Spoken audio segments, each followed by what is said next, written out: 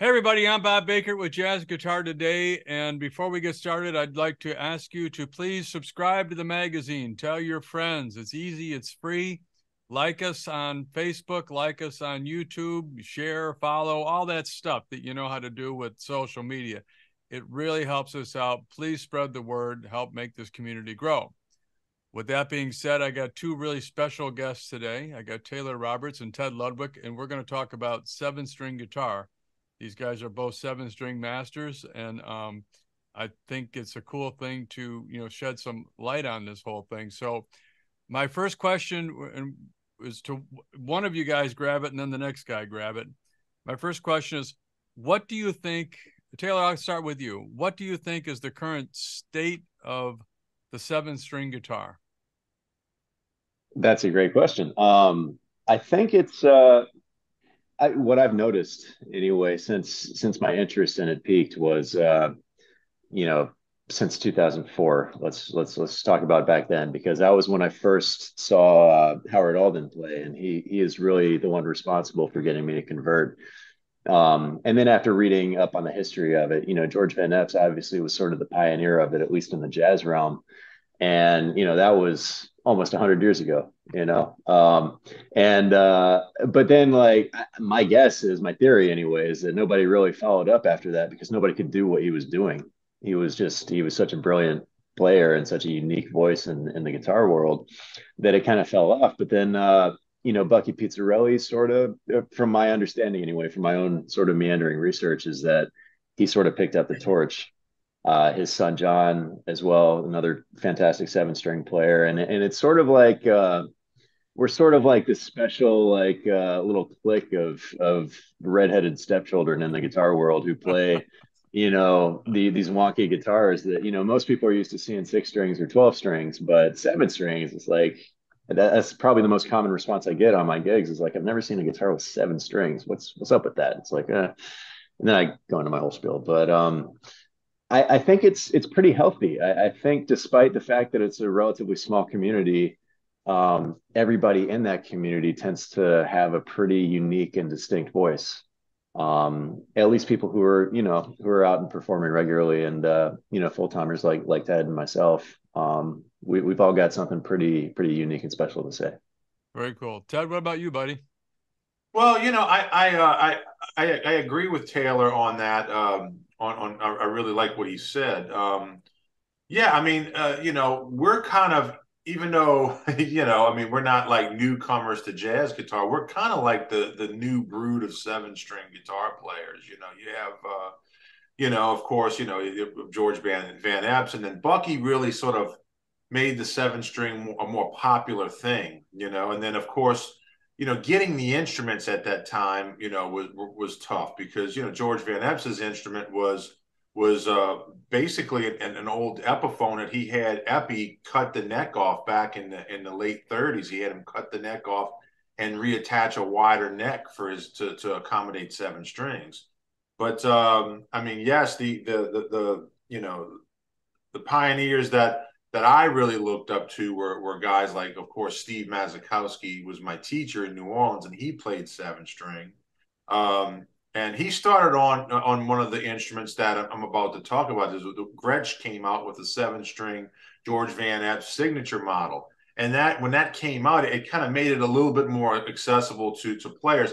Not that they were plentiful in guitar shops at, at that time, but you know, so Steve actually started on one of the the Gretsch Bucky Pitzer. Uh, I'm sorry, the Gretsch George Van Eps model uh, guitars. Um, but now, you know, we have we have of course Masakowski still very active, and uh, Ron Eschete uh, is is a, a great um, um, you know seven string player who who who lives out on the West Coast, and and he was very influential to me.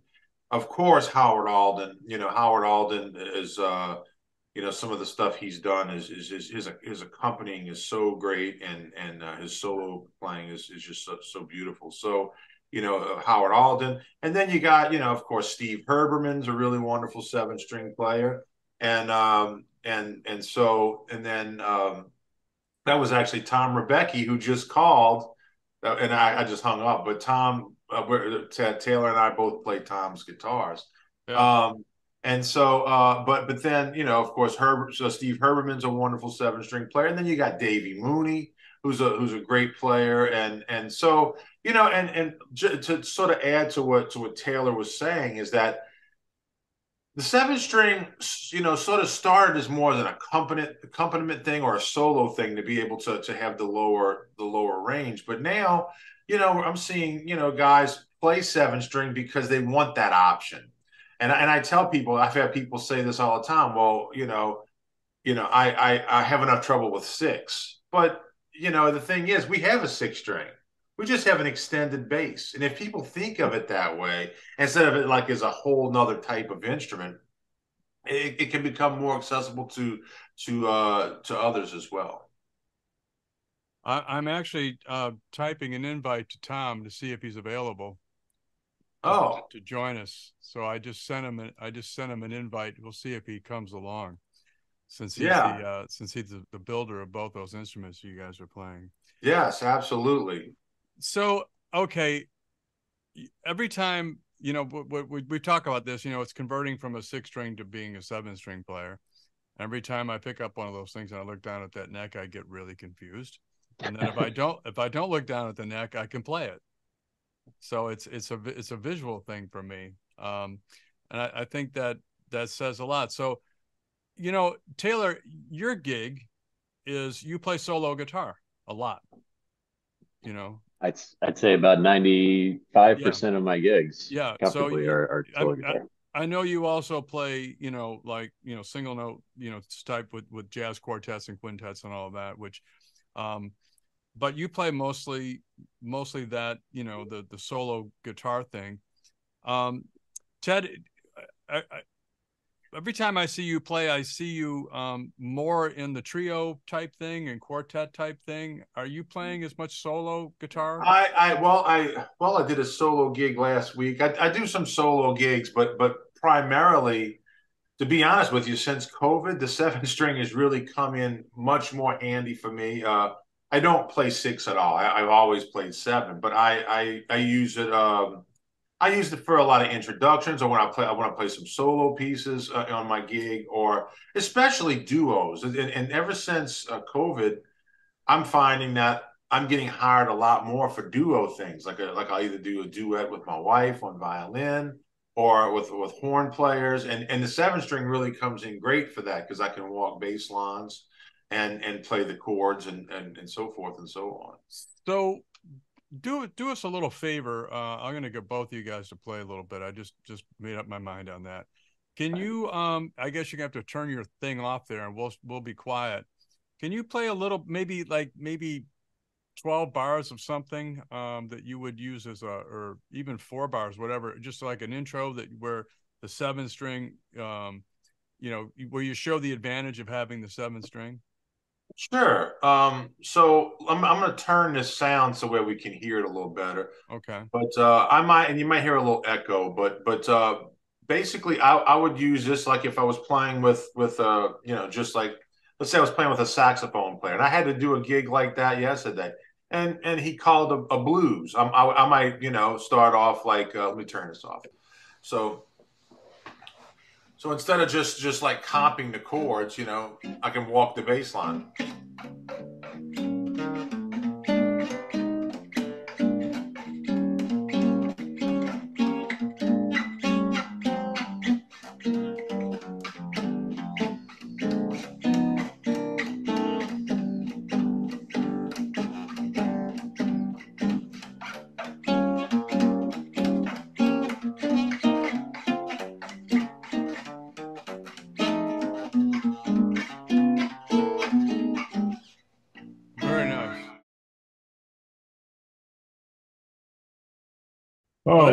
Look, he is. Look at me. Tom.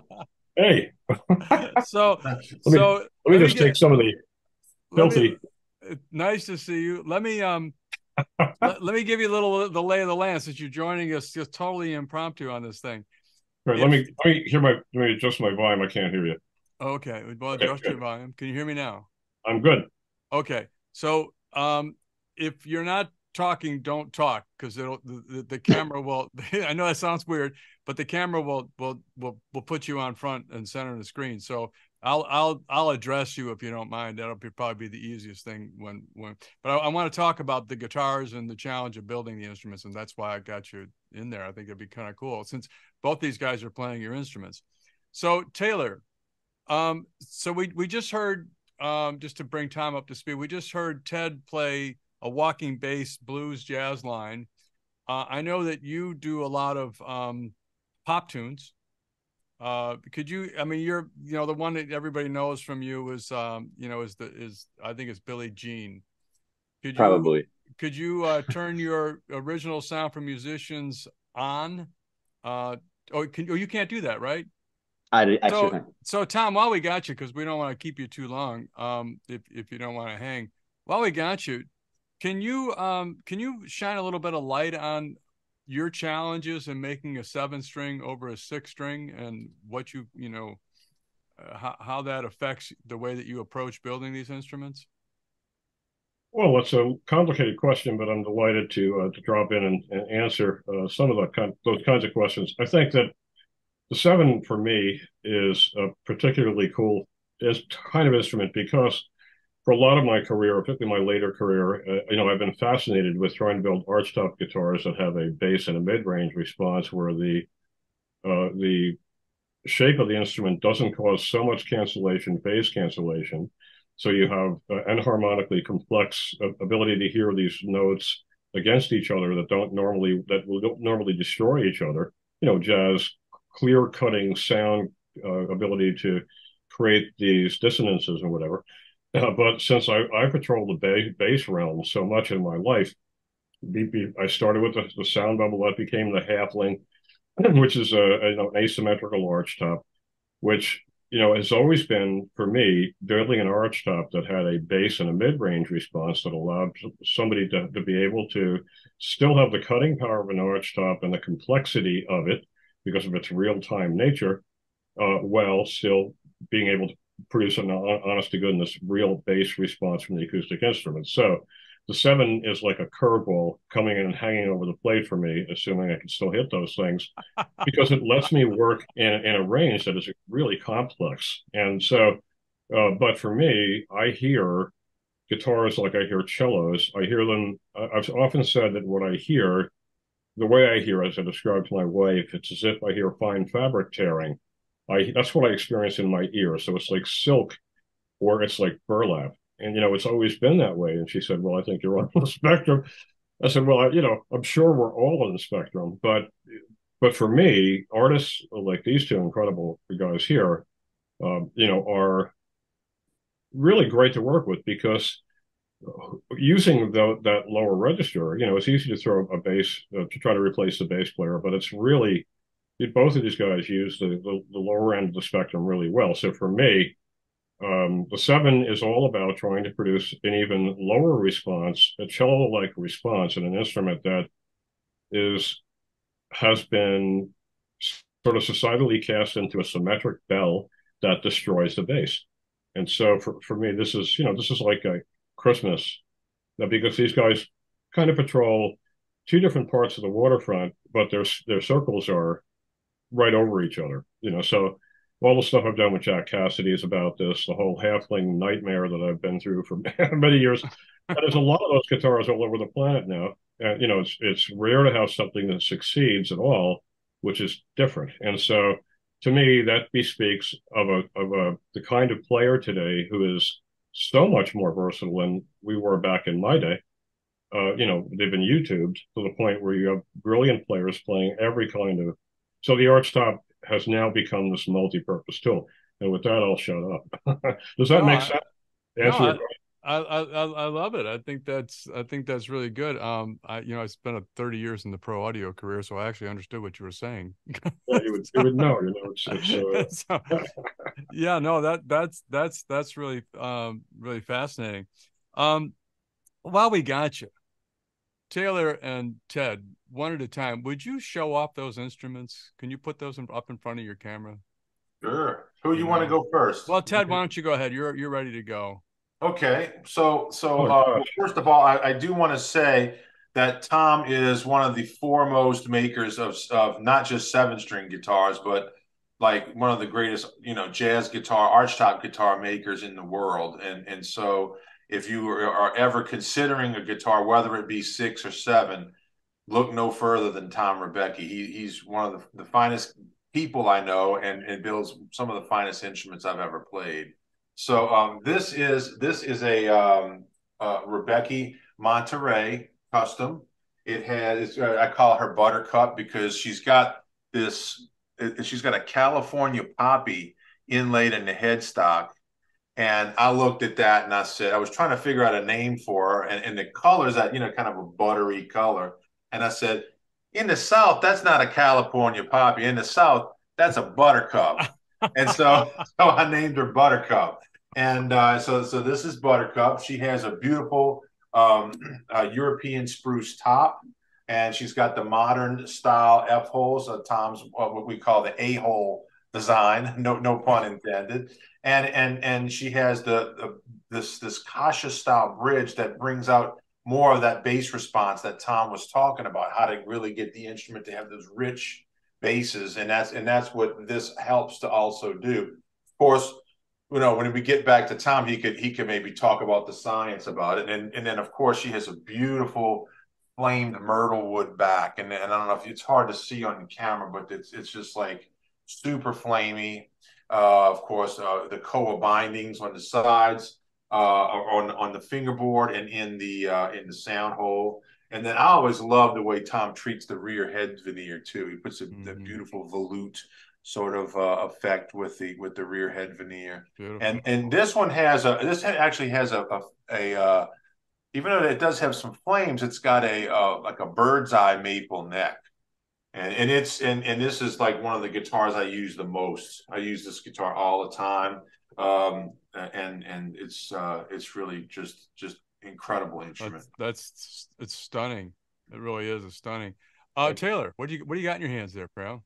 What's oh, this is uh, uh, funny. You should ask. I, uh, so I I I actually spoke with Ted, and I and I gotta tip tip my hat to to my good friend Ted over there because he sort of steered me in the direction of of of Tom and his work, and and I had always admired Tom's work from afar, um, and he pretty much you know he he he tipped the scale in a, so to speak for me, and uh, and said Tom would be your guy. I mean, considering my style, considering uh, you know the what we were talking about, the majority of my gigs are solo. I go for a more sort of orchestral sound, and um, and so Tom, I mean, you know, the first first conversation I had with him, I was like, man, I love this guy. He's from outer space. He's definitely going to be building. He's he's definitely going to be building the guitar for me. I, I, would love to work with him on one. And so uh, it was close to a year. The project that that um, Coco is her name. Uh, my my girlfriend Kayla. So uh, uh, pretty much immediately named her that just due to the finish. It's this rich sort of chocolatey you know, reddish brown, sort of burgundy color. And uh, mm-hmm. like Tom's, it's uh, it, or I'm I'm sorry, like Ted's, it's it's also a Monterey model. Uh, it's it's got a 17 inch lower bout, uh, three inch depth, and uh, it's you know it's got the Koa binding as well. And I don't know how close up you can see. Uh, we can see it pretty well this triple binding right here too. I mean, he back didn't, off, he back didn't, off a little bit. There you go. Okay. Well, he didn't skimp at all on the on the details and the aesthetics no. of this thing. I mean, it's just gorgeous. I find myself just staring at it, you know, on on end uh, without even playing it. But um, but yeah, it's uh, you know, it's um, let's see, it's got a floating Kent Armstrong pickup with the adjustable pole pieces. Uh, this beautiful ebony fingerboard I don't know. I mean, whenever I tell people about this guitar, I was like, "Do you, would you like to check it out?" They're like, "No, no, no. I'm afraid I'm going to break it." But it's like, no, just just rub your fingers across this fingerboard and just it's so smooth. It's like I don't know, I don't know what it is about. Oh, I got um, a line, I got a line but, there, uh, but I'm not going to use it. I'm sorry. Go ahead. Yeah, yeah. We'll we'll we'll gloss over that. Yeah. Um, but uh, but no, just to give you an idea of how uh bespoke, I guess you could say this guitar was. I mean, Tom did a really deep dive on my YouTube channel and mm-hmm. and on my playing, and he explained to me how you know guitar players also like horn players, they have an armature as well. They have a way that they hold and position their hands and and a certain attack. And what he did was he actually voiced the top of this guitar. He thinned the top so it would boost certain frequencies to really sort of cater to my style of playing. So this is very much a custom instrument, if if you ask me. Right. And so when it arrived at my doorstep a day early, I have to say, uh, it was like it was like Christmas a day early. Um, you know, I had a yeah, right. I had a I had a gig that night. I, I got to tell you guys, I spent no more than 20 minutes with this guitar. And I was like, yeah, I'm, I'm taking this one to work tonight. This is the one I'm playing. And the rest is history, man. It's been just just a, a salacious love affair ever since. And uh, and I I have to say, this is just easily the finest guitar I've ever owned and ever played. And I mean, this is only let's see, I guess I got it in mid December. It's now beginning of May. It hasn't even been six months. I can only imagine how well this instrument will age over the next several years and how much closer the bond is going to be between myself and the instrument. But anyway, all that said, uh, I, I, have a I have a lot of gratitude for Ted and and and just endless gratitude for Tom that I I, I don't know if I'll ever be able to uh, you know repay. Well, I, so.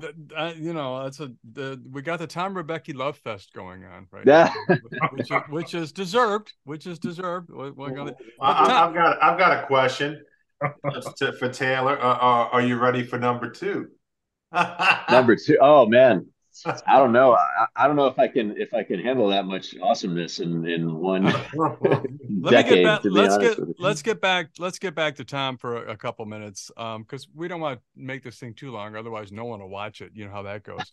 yeah. Um, yeah. So, Tom, uh, we started out the conversation as as to the um, the state of seven string guitar.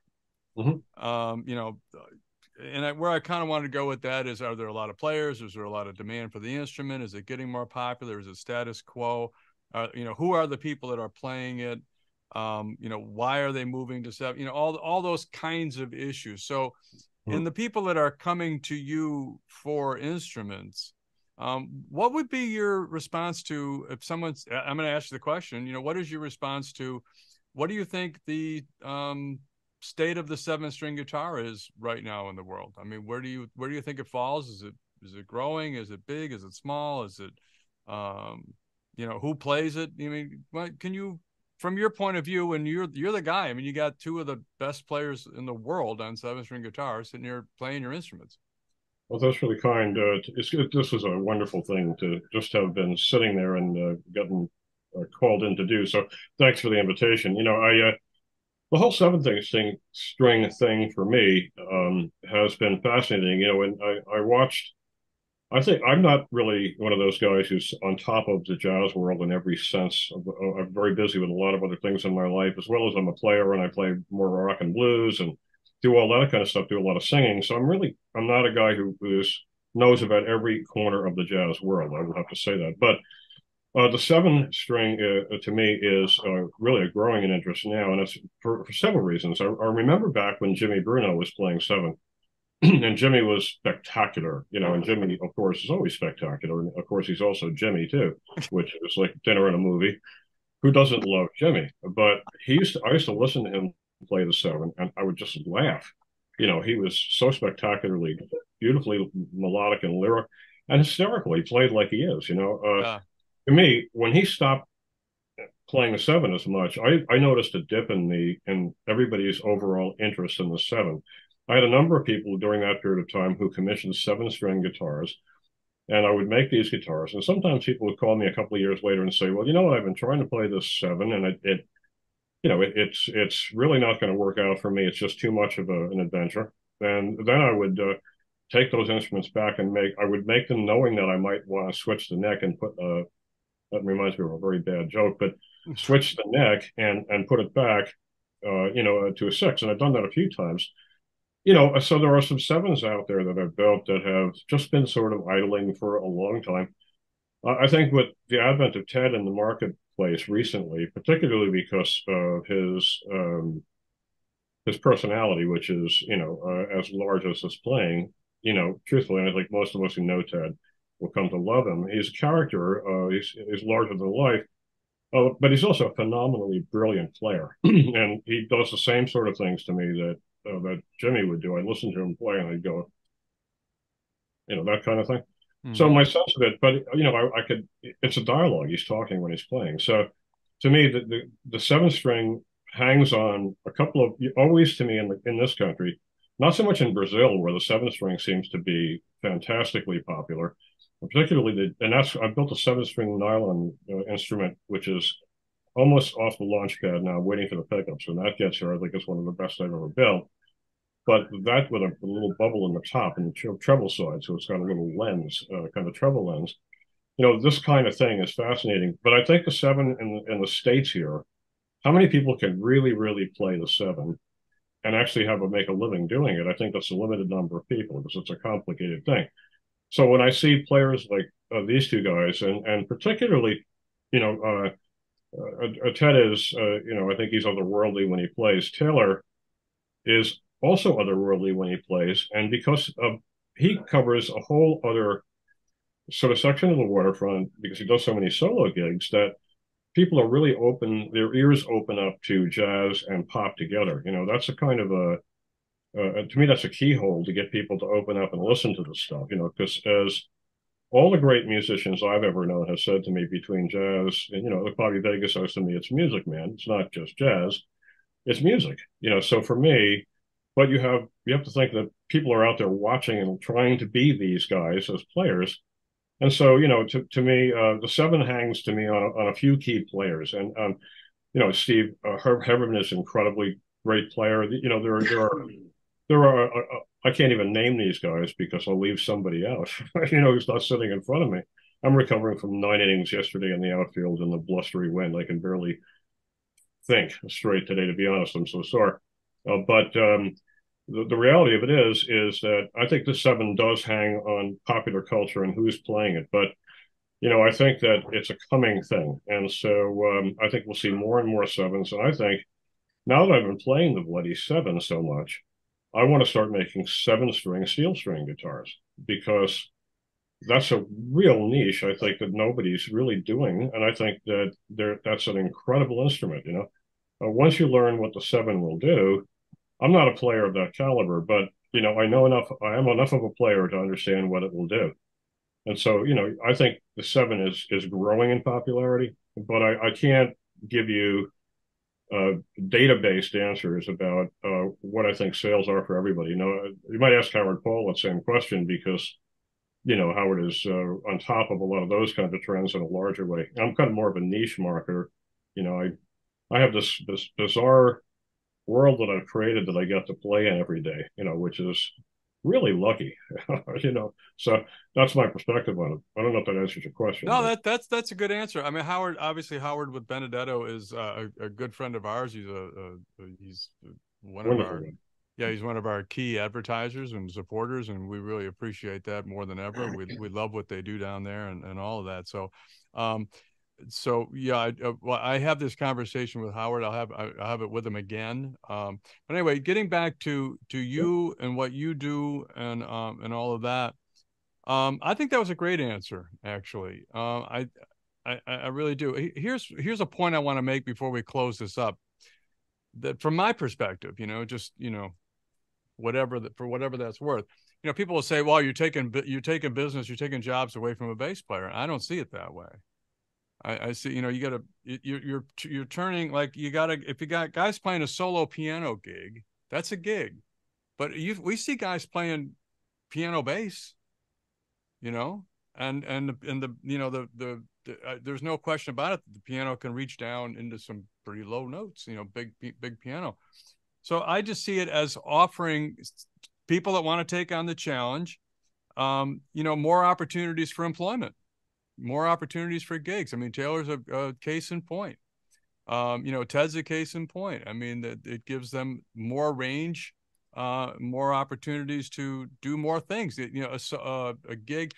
I mean, uh, a seven-string gig with a saxophone, and him walking the bass line I mean, you know, I, I, you know, I love you, Ted. You know, I love you, but I mean, Ray Brown on bass would be a little different than you playing that on your, on, you know, and I think you would would say that. And having a real, you know, a real bass player, if you will, is different than you playing those notes. Absolutely, absolutely. But, but you know, a lot of times, and, and I don't know. I mean, I mean, every city's different, but you know, there are times when the bass player's booked, you know, and so like, you know, you you get you get uh yeah. you get gigs, you know, just like you know me, or just two guitar players. In fact, Taylor and I, uh, and, and, and Tom Tom Tom Taylor and I are, are planning uh, for for Taylor and I to do a concert out by Tom's uh, uh, at the Du Rascali Vineyards in uh, July uh, for us to actually do a concert, and and and it's great to have two seven string guitar players. Absolutely, you know, add so much to that. But but yes, I mean it remember it, it, it is a six string with the extended bass so it just right. gives us more possibilities. And tom's instruments are literally like steinway pianos to play so just to have that extra range and that, the extra ability to do that is just really beautiful. Absolutely and i, I think it's something that i i'm um i'm hoping that this video will inspire some some people to say hey you know what?